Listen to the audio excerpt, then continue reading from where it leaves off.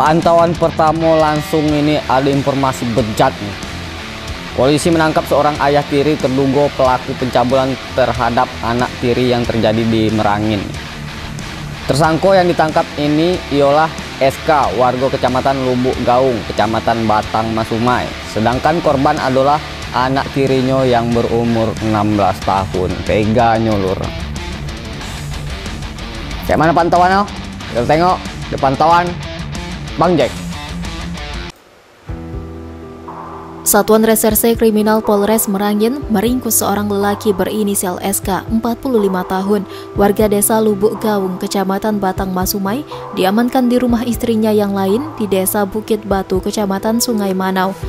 Pria paruh baya itu ditangkap polisi karena tega mencabuli anak tirinya sendiri yang masih berusia 16 tahun. Laki-laki durjana itu diciduk polisi setelah ibu kandung anak tersebut melaporkan kasus pencabulan terhadap anaknya yang masih duduk di bangku madrasah alias swasta. Menurut pengakuan pelaku, aksi pencabulan tersebut sudah dua kali terjadi. Kejadian pertama pada bulan April 2022 berawal saat korban sedang tidur sendirian.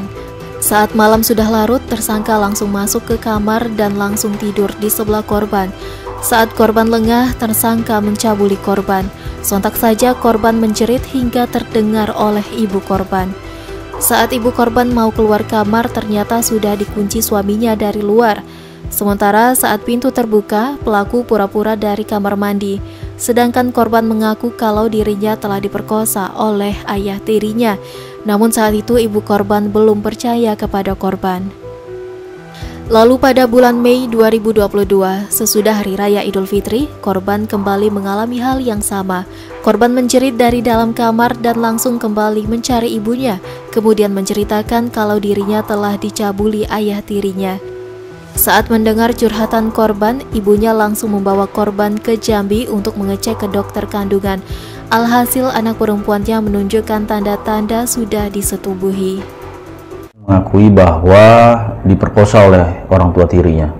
Sehingga kita melakukan eh, mengamankan dan menangkap saudara SK saat ini sudah proses penyidikan dan yang bersangkutan dikenai pasal 76 Ju 82 Undang-Undang Perlindungan Anak yang mana ancamannya eh, 20 tahun maksimal saat ini pelaku telah diamankan di Mapolres Merangin untuk mempertanggungjawabkan perbuatannya, pelaku akan dijerat dengan Undang-Undang Nomor 35 Tahun 2014 tentang Perlindungan Anak dengan ancaman 20 tahun penjara.